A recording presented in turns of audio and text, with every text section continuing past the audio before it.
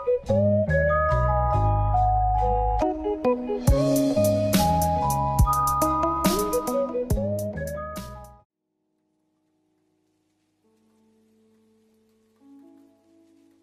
guys, Tech James here. In this video, I will be showing you guys how to play Capcom Play System 3 games on your PS Vita. So these games basically are for the Dreamcast and for the Capcom arcade machines. So what you guys want to do just to get this working, you will need to have the portable Final Burn Alpha emulator. I will leave a link to that video in the description so you guys can install it.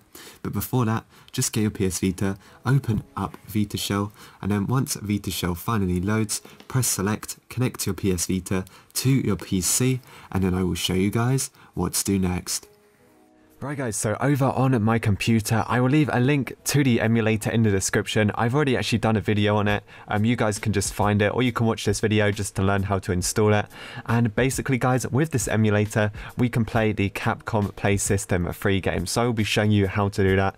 So this is the game I chose to play. Um, it's called Street Fighter 3 Second Impact. You guys can find any Capcom Play System free game. I'm pretty sure all of them should work.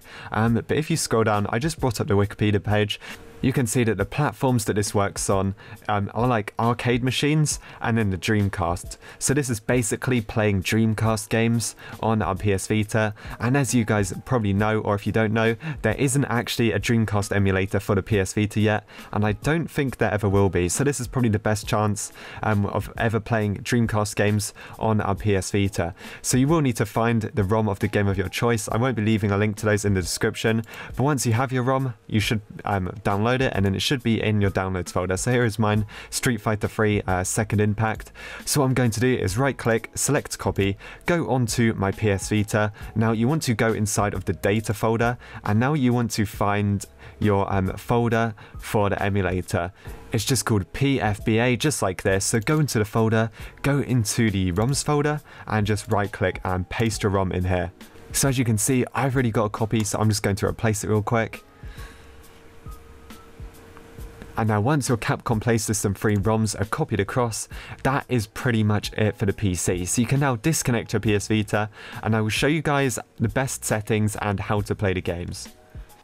Alright guys, so back onto your PS Vita, you can completely close out of Vita Shell because we don't need this anymore and you just want to find your emulator and then open it. So here is mine, Portable Final Burn Alpha, just press X and then X again to start it up.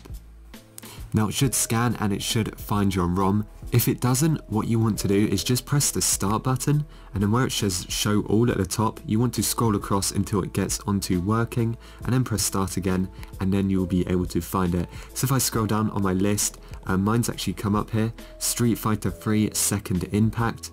Um, before we launch the game, you actually want to press the select button. You want to go into emulation and just press X now for the scaling, you want to change this until it's on full.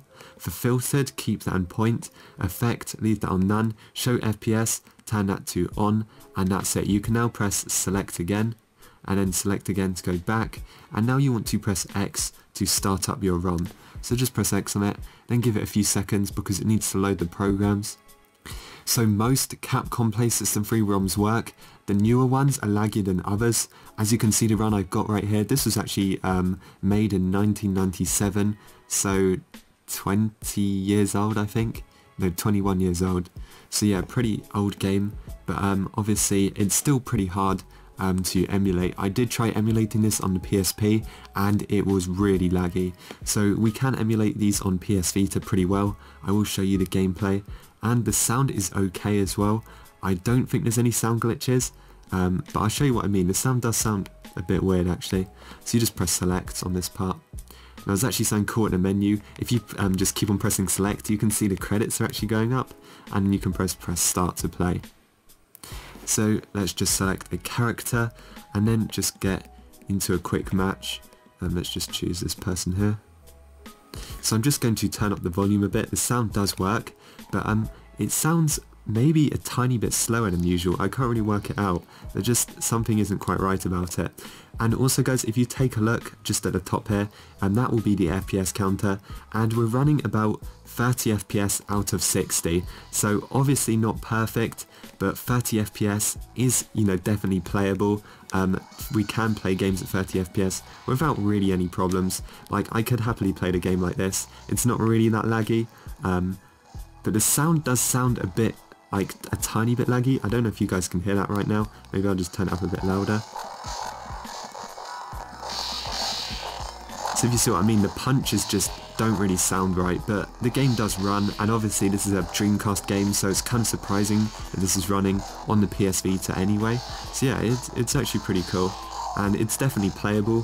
When I play these games, I tend not to leave the sound on, just because, you know, it's not really um, something ideal. I'd rather just listen to music and play it. But yeah, you guys get the idea. So if you guys enjoyed this video, make sure to like and subscribe, and I will see you guys in the next one.